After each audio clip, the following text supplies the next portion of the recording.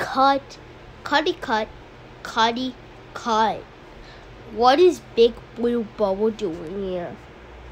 Oh, I'm just as his replacement because this is a basketball right now. Sorry, I don't have the footage. So much waiting again. After that, we'll do another take when S comes back.